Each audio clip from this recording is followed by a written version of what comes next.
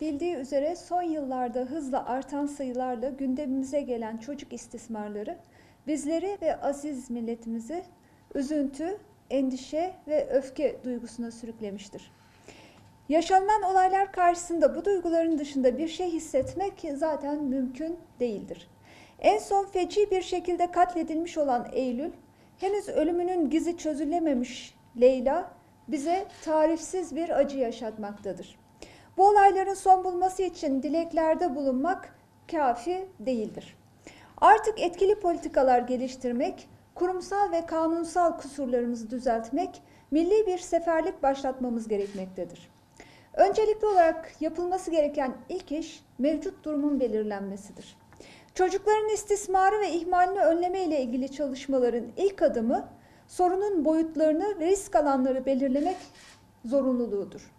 Mevcut sorunların boyutları saptandıktan sonra yapılacak çalışmaların planlanması, gerekli iş gücü ve ekonomik gereksinimlerin belirlenmesi ve yapılacak müdahalelerin planlanması aşamasına geçilebilir. Evlerde, okullarda, çocukların yaşadığı veya çocuklarla ilişkili kurum ve kuruluşlarda çocuklara yönelik gerçekleştirilen ihmal ve istismarın boyutlarını bilmediğimiz sürece alacağımız önlem ve yapacağımız müdahaleleri etkili olarak planlama şansımız bulunmamaktadır. Aynı zamanda ilerleyen süreçte ne kadar yol kat ettiğimiz hakkında da fikrimiz olmaz. Bu olumsuzluğu gidermenin yolu düzenli ve bilimsel saha araştırmaları yapmaktır. Hem kentsel hem de kırsal bölgelerde çocuklara yönelik istismar araştırmaları yapılmalıdır. Araştırmalarda toplanacak verileri belirlemek ve de doğru bilgi temeli oluşturmak için çocuklara yönelik istismarla ilgili araştırma gündemlerinin oluşturulması gerekir. Yapılan araştırmaların raporlandırılması ve kayıt altına alınması titizlikle yapılmalı, çocuklara ait özel bilgiler de saklı tutulmalıdır. Çocuklara yönelik istismarın boyutlarının belirlenmesi, risk gruplarının tespiti, yerel düzeyde verilerin toplanması ve bu konuda gerçekleştirilmesi gereken müdahale çalışmaları için başlangıç bilgisi oluşturacak, sonucunda ulusal risk haritasının tespit edileceği geniş çaplı bir çalışmada yapılmalıdır. Çocukları istismardan korumaya yönelik aileler bilinçlendirilmeli, eğitilmelidir. Çocuklara bulundukları yaş düzeyine göre istismardan korunmalarını sağlayacak eğitimler verilmelidir. Çocuk kavramı ve çocuklara yönelik cinsel istismar uluslararası sözleşmeler ışığında yeniden tanımlanmalıdır. Cinsel istismar 18 yaşından küçüklere yönelik her türlü cinsel davranışı kapsayacak biçimde düzenlenmelidir. 18 yaşına kadar herkes çocuktur. Temel kuralı çocuklara yönelik cinsel istismar halinde de temel kural olarak kabul edilmeli ve suçun tanımlanması ile ceza oranlarının belirlenmesinde göz önüne alınmalıdır. İletişim ve teknoloji imkanları kullanılarak fiziksel temas olmaksızın da mağdurun vücudunu teşhir veya kendi vücudu üzerinden cinsel davranışlar yaptırılması yoluyla cinsel istismar suçunun işlenebileceği madde hükmünde kabul edilmelidir. Cinsel istismarın görüntü kaydının yapılması veya yayınlanması ayrı bir suç olarak veya ağırlaştırıcı sebep olarak düzenlenmelidir. Çocuğa yönelik cinsel istismar suçlarından sabıkalı olanların çocukla ilgili işlerde çalıştırılması ya da çalışması kesinlikle yasaklanmalıdır. Kurumsal ortamlarda işlenen çocuk istismarı suçlarının örtülmesi, üstünün kapatılması gibi eylemlerde bulunan görevlilerin çocuk istismarına iştirakten veya ayrıca tahsis edilecek çocuk istismarı suçunu örtmek suçundan cezalandırılması gerekmektedir. Ensest ayrı bir suç olarak tanımlanmalıdır ve bunun düzenlemesi yapılmalıdır. Kimyasal kastrasyonla ilgili bildiğiniz gibi son günlerde oldukça bir kafa karışıklığı ve gündeme gelmesi söz konusudur. Kimyasal kastrasyon son günlerde çocuklara yönelik cinsel suçlar sebebiyle gündeme gelmiş bir uygulamadır. Her ne kadar bu suçu işleyen failler için psikiyatrik sorunları olabileceği iddia edilse de öncelikle bu suçların faili olan her bireyin ruhsal bozukluğu olduğu varsayımına ulaşmamız doğru olmayacaktır. Üzerinde durulması gereken önemli bir nokta cinsel suç olarak kabul edilen eylemlerin saf bir cinsel eylem olarak kabul edilmesinin yanlış olduğudur. Bu eylemler bir cinsel birliktelik biçimine karşılık gelmez, kişiyi bir bu suça veya suçun yenilenmesine iten motivasyonun sadece cinsel nitelikte olduğunu düşünmek hatalı olacaktır.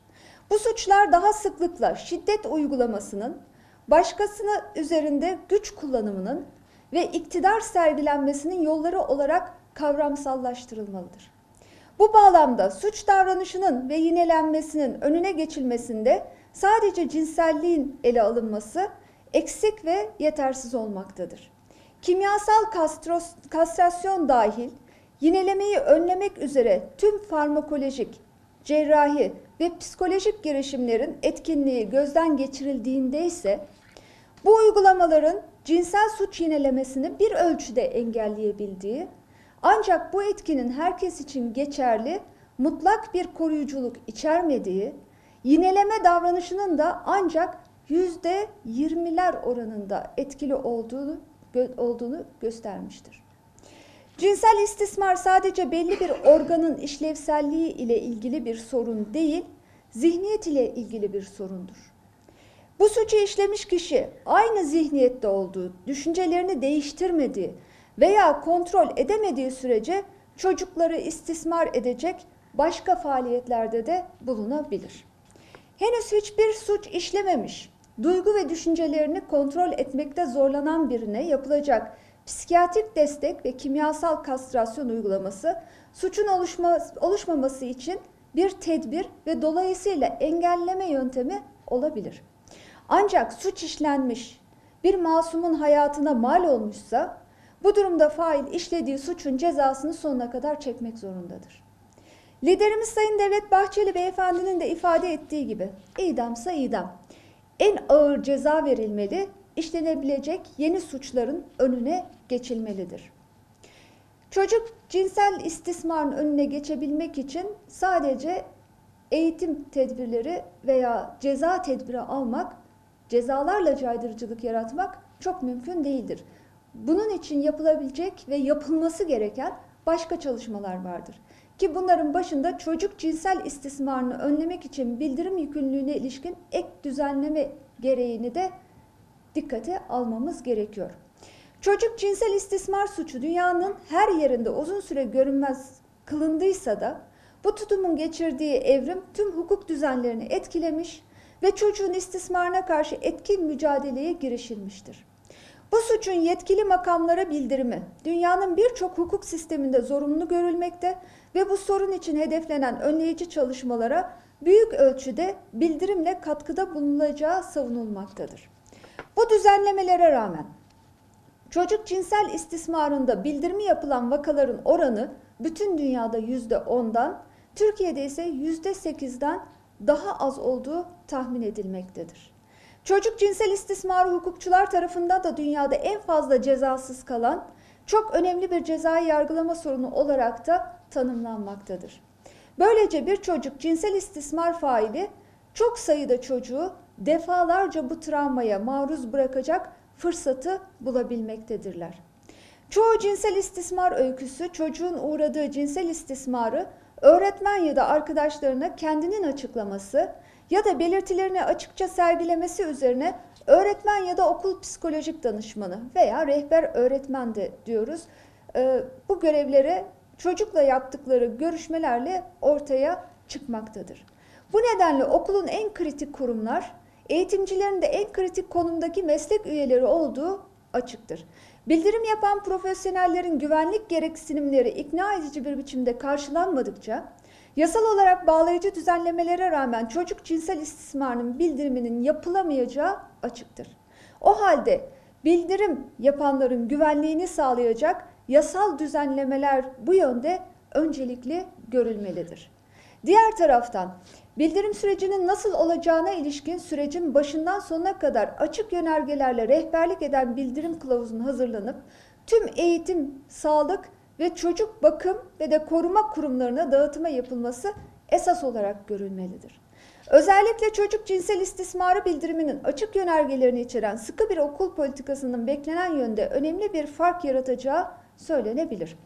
Bununla birlikte sadece eğitimcilerin bu sorumluluğuna sahip olduğunu düşünme, düşünülmemeli. Bu toplumsal bir seferberlikle vatandaşlık görevi olarak herkese benimsetilmelidir. Bir çocuk politikamız, etkili bir milli çocuk politikamız maalesef bulunmamaktadır. Bizim bakış açımıza göre böyledir. Çocukların korunmasına yönelik her tedbirin alınması ve sağlıklı büyümeleri için yapılacak çalışmaların planlanması Milliyetçi Hareket Partisi olarak ilkemiz ve hedefimizdir. Bunu başarmak için geliştirilecek olan milli bir çocuk politikası, çocukların sağlığını ve esenliğini hedefleyen, gelişmelerini ve potansiyellerini destekleyen, her türlü riskten uzak kalmalarını, fırsatları değerlendirmelerini ve güçlendirilmelerini sağlayan politika olmalıdır. Çocuğun yüksek yararını temel ilke olarak benimsemeli ve devletin en üst düzeydeki kurumu tarafından güvence altına alınarak yürütülmeli ve desteklenmelidir. Çocukların korunması, esenliği ve layık oldukları yüksek standartlardaki fırsatlardan yararlanarak yetiştirilmeleri için çalışacak, etkin politikalar geliştirecek bir kurumsal yapı gerekmektedir. Milli Eğitim Bakanlığı, Sağlık Bakanlığı ve Adalet Bakanlığı'nın çocukları koruma ve yetiştirmeyi hedefleyen çalışmaları olduğu düşünülerek sorunların bu kurumlarca çözülebileceğine inanmak bizi büyük bir yanılgıya sürükler. Adalet Bakanlığı sadece çocuk suçluluğu ve çocuğa yönelik suçlarla ilgilenir. Sağlık Bakanlığı'nın çalışmaları çocukların sağlıklı yaşamasına yöneliktir. Milli Eğitim Bakanlığı'nın hedefi ise onları eğitmektir. Ancak bir çocuğun hayatı ve sorunları bahsi geçen alanların toplamından daha büyük, geniş ve detaylıdır. Adı geçen kurumlarla birlikte mevcut tüm kurumları yönlendirecek ve hiçbir detayı atlamayacak kadar nitelikli ve yoğun çalışmalar yapacak ve de çocuk politikaları geliştirecek üst akıl niteliğindeki bir kuruma ihtiyacımız vardır.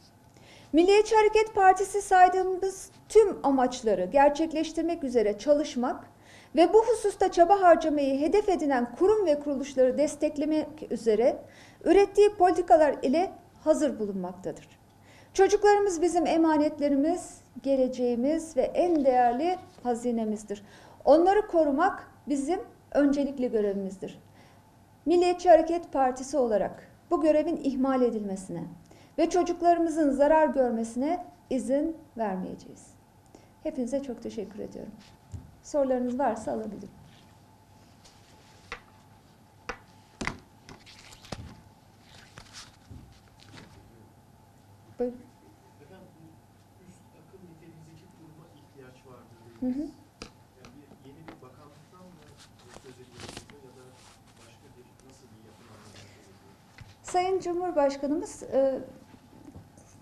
kendi birimlerince çalışmalarını tamamlamış, bakanlık sayılarını ve adlarını yayınlamıştır.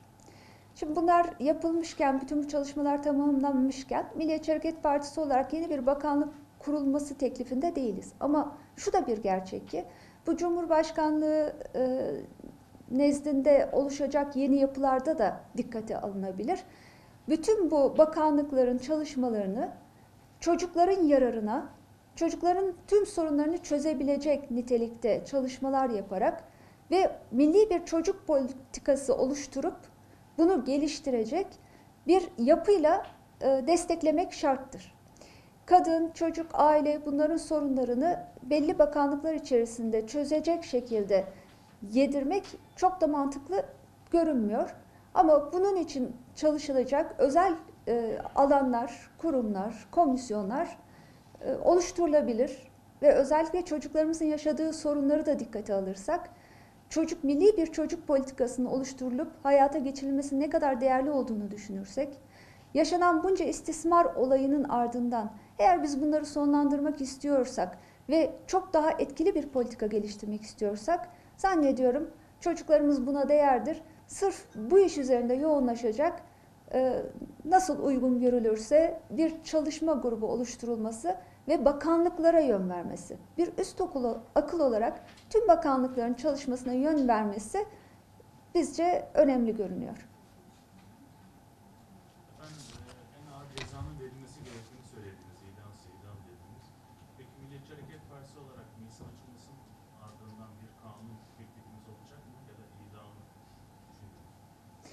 E, Tabii ki bizim e, avukat arkadaşlarımız var. Genel Başkanımızın Sayın Doktor Devlet Bahçeli Beyefendinin de e, çalışmaları daha doğrusu direktifleri doğrultusunda çalışmalarını sürdürmekteler. E, Bunları onlar da değerlendirecektir. E, Ben biliyorsunuz bu dönem genel merkezimizde görevliyim.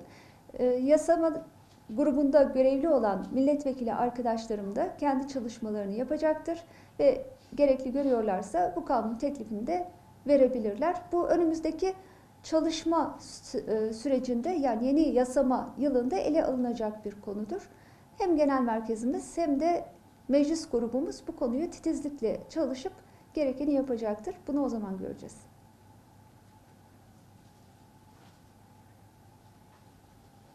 Başka sorusu olan yok mu? Peki.